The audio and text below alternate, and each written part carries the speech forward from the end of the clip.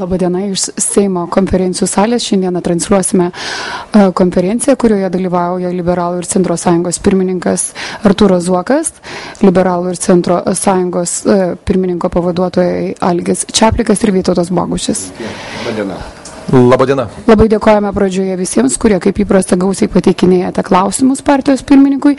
Šios dienos pagrindinė tema bus a, mūsų pokalbis apie ateities vyriausybę. Be ne pirmą kartą Lietuvoje buvo pasiūlyta gyventojams, rinkėjams prisidėti prie vyriausybės kūrimo. Apie tai, kokios nuostatos gali atsidurti būsimos ateities vyriausybės programoje, kalbės Arturas Zokas.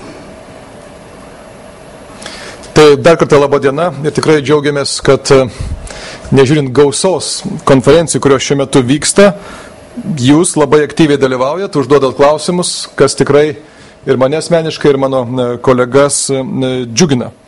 Na, o šiandien noras pristatyti ateities vyriausybės programą, nes, kaip žinote, Liberalų centro sąjunga, prašau man įjungti ateities vyriausybės programos pavyzdį, kad matytų interneto lankytojai. E, ir Liberalų centro sąjunga šiuose rinkimuose pateikė ne tik programą, kurią šiuo metu svarstote ir žiūrite e, geresnė Lietuva, bet kartu ir ateities vyriausybės e, programos pagrindinius darbus. Ir ši programa yra skirtinga tuo, kad joje ne tik mes, tai yra e, partija galime pateikti ir pasiūlyti savo mm, nuostatas, tačiau raginame pirmiausia Lietuvos piliečius, visuomenės atstovus, asociuotų organizacijų mm, atstovus teikti savo siūlymus, kurie tampa viešu diskusijų objektu. Žmonės gali balsuoti, pakelkim truputėlį viršų, gali balsuoti ir matyti, mes galime matyti, šitas šios nuostatos yra priimtinos, ar įdomios, ar, ar, ar jos aktualios. Nuleisk ją pačią truputėlį. Ir, ir kartu gyventojai gali balsuodami parodyti, kiek tai yra svarbu. Ir šiandien noriu pasakyti labai aiškiai, kad šioje programoje daugiau negu šimtas su viršum tūkstančių jau sulaukėme balsų. Tai yra didžiausias internete įvykęs kada nors Lietuvos istorijoje balsavimas, pagal kurį žmonės išreiškia vieną ar kitą savo nuomonę. Bendrai mes turime šiuo metu pateikę daugiau negu 306 nuostatos ir iš jų jau 63 yra patvirtintos. Aišku, nuostatų kas, kas kartą atsiranda vis daugiau, todėl skatiname aktyviai dalyvauti. Tuo galbūt mes ir skiriamės nuo šiandien daugelio politinių organizacijų, sakydami, kad ne tik politikai turi kalbėti. Politikai turi daugelį atveju klausyti.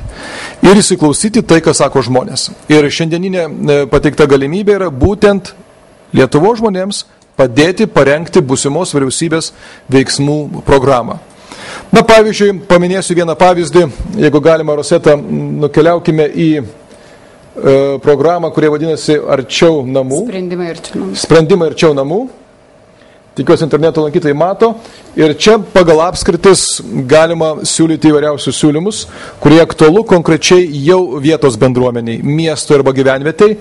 Ir man teko lankytis prieš daugiau nei pusmetį e, Utenos rajone ir lankiausi ir susitikinėjau su jų žintų gyventojais, kurie labai labai labai prašė įtraukti vyriausybės programą ir nutiesti nutiesti vieną iš kelio atkarpų, kuris sujungtų jų žintų gyvenvietę ir būtų patogesnis atvažiavimas į, į Uteną. Ir galiu pasakyti, kad balsavimas buvo gana aktyvus. Aišku, jų žintų gyvenvietėje gyventojų gyvena ne taip kaip Vilniuje, Tačiau dauguma žmonių, kiek suprantu, jau žino ir balsuoja už tai. Ir galim pasakyti, kad šiandien ši nuostata yra patvirtinta ir įtraukta į ateities vyriausybės darbų programą. Ką tai reiškia? Tai reiškia, kad um, jeigu Liberalų centro sąjunga sudarys vyriausybę, tai būtent šis minėtas darbas taip pat bus įtrauktas ir per ketverius metus kitos Seimo kadencijos ir vyriausybės jis bus įgyvendintas. Apie tai atskirai mes dar informuosime ir jų žintų gyventojus. Tai yra asmeniškai aš pats artimiausiu metu visiems paskambinsiu ir informuosiu, kad minėtas labai aktualus vietos bendruomenė ir gyvenime tai klausimas yra įtrauktas į mūsų ateities vyriausybės programą. Taigi pavyzdys matote ekrane ir kviečiu visus kitus taip pat aktyviai dalyvaujate, formuojant bendrai, formuojant ateities vyriausybės programą. Ir be abejo aktyviai balsuoti. Tokia galimybė, kaip galiu pasakyti, suteikta tik tai yra Liberalų centro sąjungos, ne viena kita politinė partija e, tok, tokiu būdu nesudar, nėra sudariusi galimybės patiems gyventojams dalyvauti ruošiant ateities vyriausybės svarbiausių darbų programą. Na, o šiandien mačiau, internete yra labai daug klausimų ir tikrai pasiruošę juos atsakyti.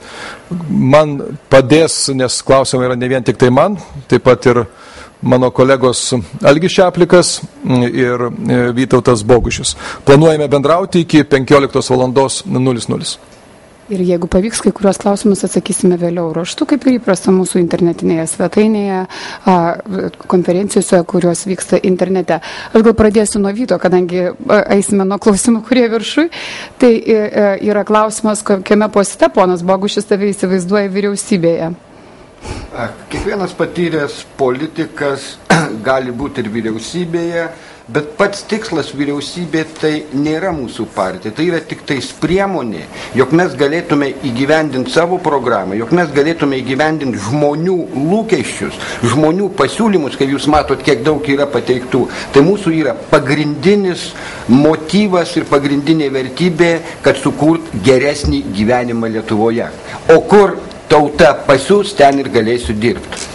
Aš papildysiu Vytautą. Mm, Liberalų centro sąjunga pirmoji partija 2000 metais prieš rinkimus pirmą kartą pateikė rinkėjams ne tik sąrašą e, kandidatų, kurie kandidatuoja ar tuo metu kandidatavo į Seimą, bet ir pateikė pirmą kartą galimos, galimas kandidatūras e, busimai vyriausybei. E, be abejo, šį kartą mes elgsimės lygiai taip pat ir kitą savaitę mes pristatysime visuomeniai galimus kandidatus, o jų turime tikrai ne po vieną, į kiekvieną vyriausybės e, postą. Ir papildomai noriu pasakyti, kad e, gyventojai lygiai taip pat galės dalyvauti prieš apsisprendžiant e, partijos valdybai, pavyzdžiui, siūlant ateities ministerijos galimą vadovą. Nes net ir dabar paraginčiau siūlyti siūsti ar man internetu, ar mūsų partijos tinklapyje nes ateities ministerija yra labai svarbi, kuri nubrėžtų ateities valstybės viziją bei m, kuriuo keliu ir kur mesgi turime nueiti, kokiegi mūsų valstybės yra tikslai. Ir aišku, kandidatūra, kuri galėtų vadovauti šiai ministerijai, yra labai svarbi.